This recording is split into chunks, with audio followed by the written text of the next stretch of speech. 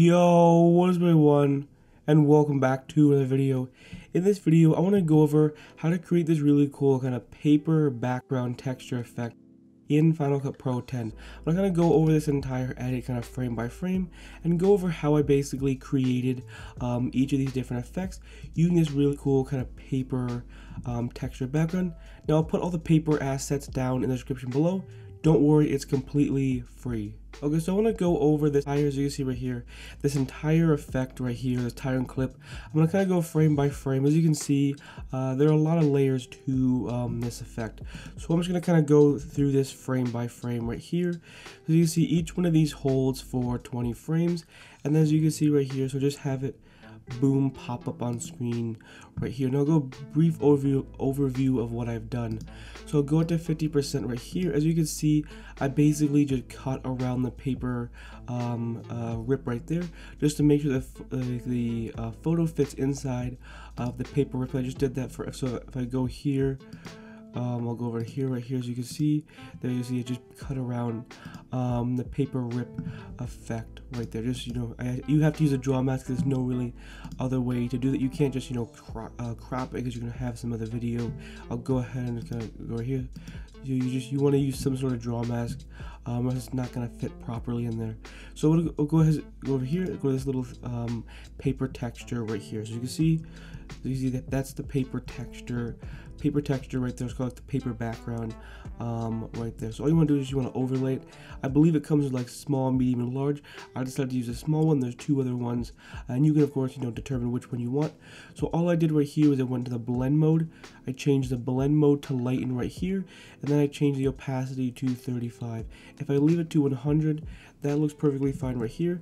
But I decided to turn the opacity down all the way to 35% right here. And then here is a paper um, rip right here.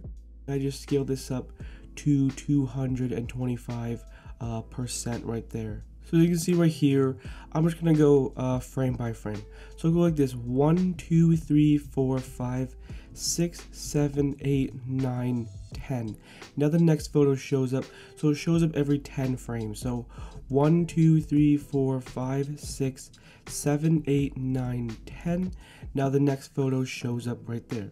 So I'll go 1, 2, 3, 4, 5, 6, 7, 8, 9, 10. And now the next photo shows up right there. And then 1, 2, 3, 4, 5, 6, 7, 8, 9, 10. And then the next photo shows up right here. And now I'll go 1, 2, 3, 4, 5, 6, 7, 8, 9, 10 right here all I have right here is I just have a video right here. Now as you can see right here, I just changed the scale um, to 85%. I put on um, uh, a, lot right there. So I changed the scale to 85% right here. And then I just added this really cool um, uh, little effect right here. That's from a, a CinePacks um, paper like texture um, uh, plugin or pack so I'll go ahead and just put it down in the description below. You obviously don't have to do this, but I thought it would look really cool to the yellow text. So we'll go with this, go to the next frame right here. And as you can see, we'll go 1, 2, 3, 4, 5, 6, 7, 8, 9, 10, 11, 12, 13, 14, 15, 16, 17, 18, 19, 20. 21, 22, 23, 24, 25, 26, 27, 28, 29, 30. So the text lasts for about 29 frames because I left one frame in the in the beginning without any text um, right there. So basically I'll go ahead and just open this up right here. So shift command G right here and then here's the text right here. I basically just moved it in one frame right here and then moved it out one frame right there. Basically just to create like a pyramid um, or a staircase right there. And then as you can see right here, that's pretty much it right here. And then I'll go like this.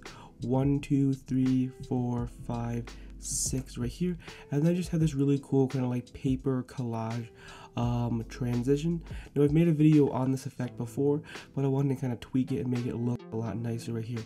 So go like this. So one, two, three, four, five, one, two, three, four, five, and then one, two, three, four, five, one, two, three, four, five, one, two, three, four, five. And there you go. Now it transitions into this clip right here. So if I go and take on this Shift Command G um, right here.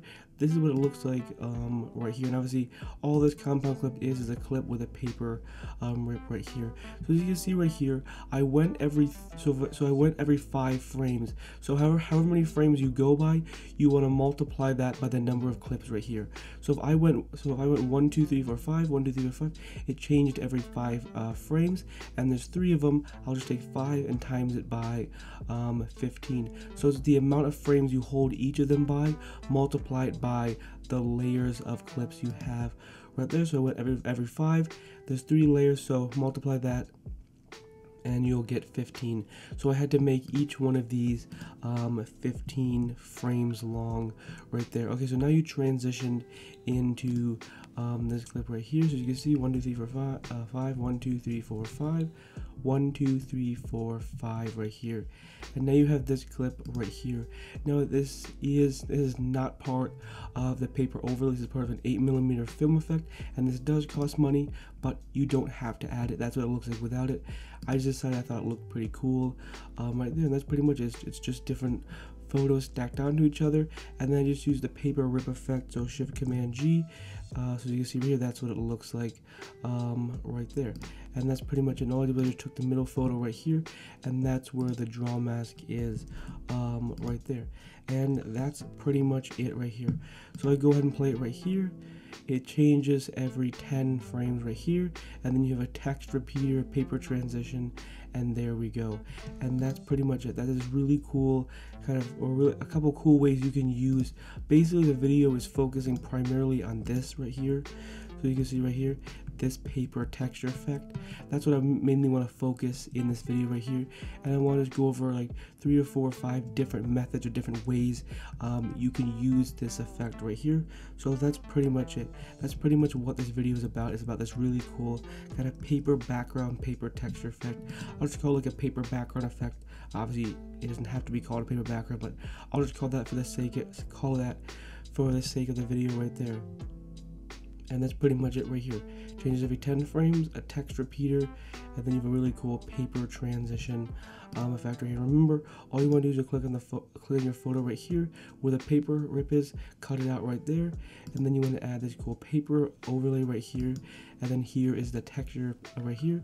Change the blending mode to lighten change the opacity to 35 and voila you have created a really cool paper um, texture effect Anyways, hopefully you enjoyed this video. Hopefully you found it helpful and informative. If you're new to this channel, I upload Final Cut Pro 10 tutorials every day at 10 a.m. Eastern Standard Time. So if you enjoy these types of videos, consider hitting that subscribe button. Also a Final Cut Pro 10 tutorial playlist with over 230 Final Cut Pro 10 tutorials. Anyways, hopefully you enjoyed this video. See you in the next one. Peace.